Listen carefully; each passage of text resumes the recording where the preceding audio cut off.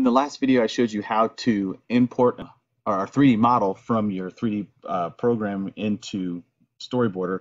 You can also take what you created in Storyboarder and export it out as a 3D model and bring it into your uh, 3D modeling program such as Blender. So it's kind of an easy reverse.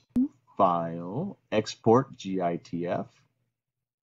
Oh, sorry. It'll export it already. Here's the name of it, 1A, whatever. I'm simply just going to go File, Import. Import a GTIF file, and then I navigate to where I stored it. And then I just simply click on it, import it, and now it's pasted in there. Now to check the scale on this, I can add a armature, just get an idea.